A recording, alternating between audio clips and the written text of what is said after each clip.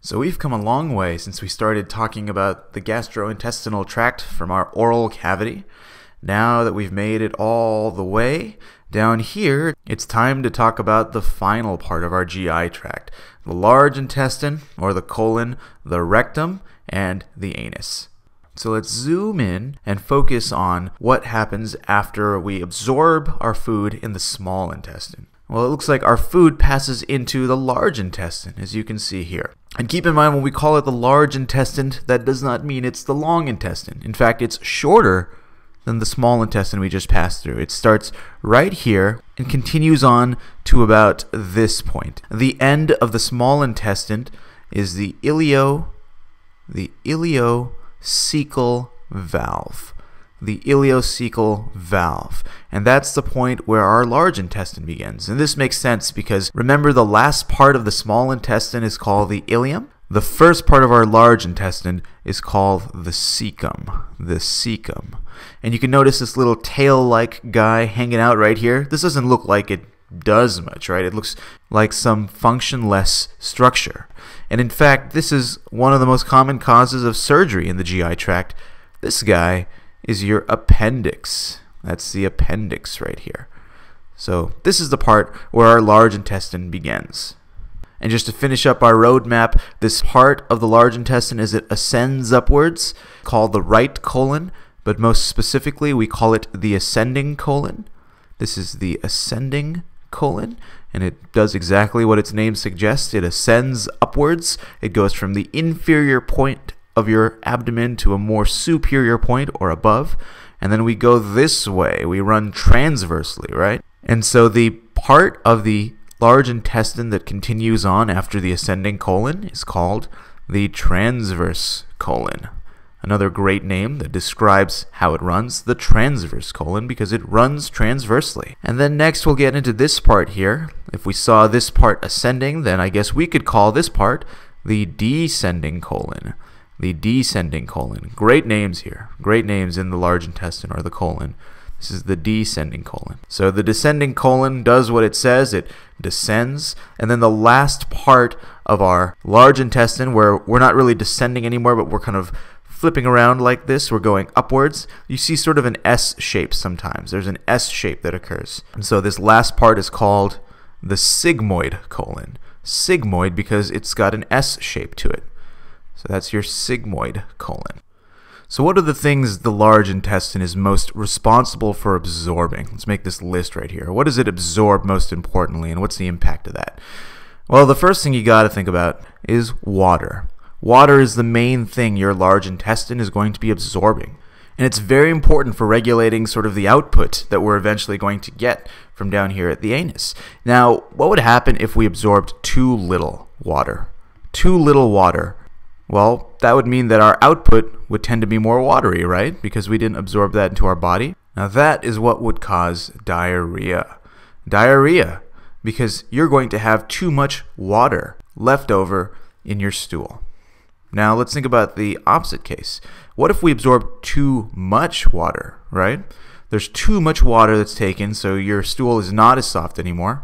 Water as we can think about, is sort of the component of your stool that makes it relatively softer. So if we have too much water absorbed in our large intestine or in our colon, we'll get the opposite of diarrhea, right? So we're going to get constipated, constipated, constipation, which is not good either. And so the large intestine is very important for regulating exactly how much water needs to be removed. One of the other things that we can sort of mention at this point also is the disease known as cholera. I'm sure you've heard of this before. It's this terrible disease where you have a bacteria attack certain receptors or certain proteins that are on your intestinal lining, specifically in your large intestine. And what that means is you're going to start losing a tremendous amount of fluid, eventually leading to death by dehydration. And the interesting thing here is that if you can keep a person hydrated for long enough, your GI will actually pass the bacterium out. So if you can keep a person hydrated while they have cholera, you can get them past the disease to be able to survive. The next important thing we should talk about that gets absorbed in the large intestine are inorganic ions. So inorganic ions we talked about earlier when we discuss the small intestine. These include things like sodium or potassium.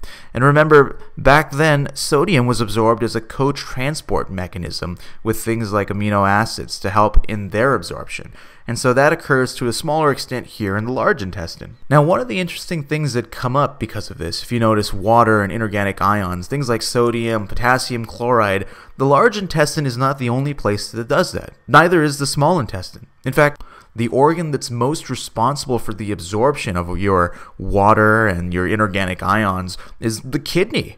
And so, because of that, if we lost the large intestine entirely, if you had some sort of accident, or if you had a disease like Crohn's disease or ulcerative colitis. One of the treatments for ulcerative colitis is a total colectomy. So you remove the entire colon so you don't have that inflammatory process. And so you won't be able to absorb water or inorganic ions in your large intestine. But what that means is you still have the kidney. The kidney can still fulfill this function. Now, another interesting thing that I'm going to mention about the large intestine is that it's a rich source of microorganisms. microorganisms like bacteria. So this gets a little weird because the question might be why do we have bacteria hanging out in our colon? What's the purpose of that? Well, bacteria in our colon actually assist in the digestion of nutrients that we're not able to do because we lack those enzymes. They assist in digestion mostly of carbohydrates, and this is kind of a significant process. You know, I read somewhere that about 5% of your output, your stool at the end, is composed of microorganisms like bacteria. And these are very important for digesting things like carbs. I'll put carbs here in parentheses. And oftentimes, the byproducts you'll get of that are things like methane, CH4. And then the other thing is hydrogen sulfide, which you may not have thought of this way, but actually sort of explains a lot. Methane is something that causes a lot of flatulence, and then hydrogen sulfide is something that smells terrible. And one food that we often eat that gets a bad rep are beans that are pretty rich in carbohydrates that we're not able to absorb because we lack the enzymes. The microorganisms in our large intestine actually do most of the digestion of the carbohydrates that we have in our beans. So you've probably heard that rhyme before beans, beans, good for the heart. The more you eat, the more you produce methane and hydrogen sulfide. Alright, enough farting around. Let's talk about the last part of our GI tract finally. Now that we've passed through the large intestine, the next place we're going to go is the rectum. Now, the rectum isn't responsible for any absorption or any breakdown. The main thing that the rectum accomplishes for us is storage. Now, we don't really think about it, but this is actually a very important part of our GI tract because once we've processed food and we've taken out all the water and now we've finally produced a waste product that we're going to take to the bathroom, we don't want it to come out right away, right?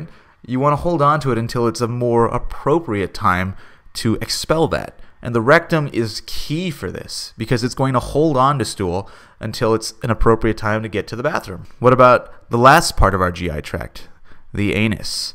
Now, the anus itself is composed of two sphincters. As you might recall from our discussion on the esophagus, sphincters are just muscles that close off a hole. There are two sphincters that are responsible for the anus. There's going to be the internal anal sphincter, and there's going to be the external anal sphincter. The internal anal sphincter is composed of smooth muscle. The external anal sphincter, the one that's sort of wrapping around the internal anal sphincter, is composed of skeletal muscle. Skeletal muscle that we control. Smooth muscle is under involuntary control. So we have stool present in our rectum. It pushes on the internal anal sphincter. The internal anal sphincter will relax and open and allow the stool to move forward. Now, that doesn't mean that everything comes out right away because we have an external anal sphincter. This is something that's under our control.